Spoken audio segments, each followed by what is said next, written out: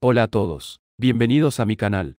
Hoy os voy a mostrar cómo cambiar el icono de tu aplicación Android en un minuto. Así que sigue mis instrucciones con mucho cuidado. En primer lugar, vaya a su Play Store. Desde la barra de búsqueda de Play Store, busca X Icon Changer. Así que usted puede encontrar este icono para el cambiador de icono X. Ahora tienes que instalarlo y tienes que abrirlo. Ahora aparecerá esta interfaz.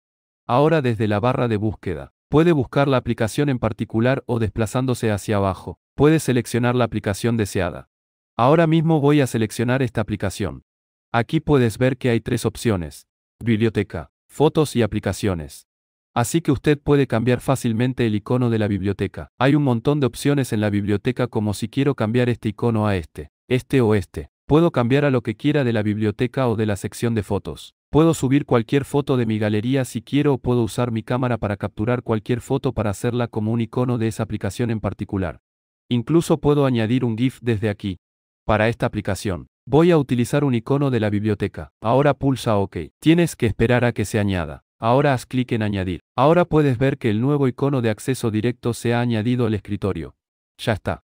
Ahora vamos a comprobar si funciona o no. Usted puede ver que el icono se ha cambiado con éxito. Ahora vamos a comprobarlo.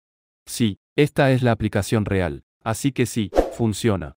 Así que si este vídeo te ayudó, como este vídeo y no se olvide de suscribirse a mi canal. Nos vemos en el próximo.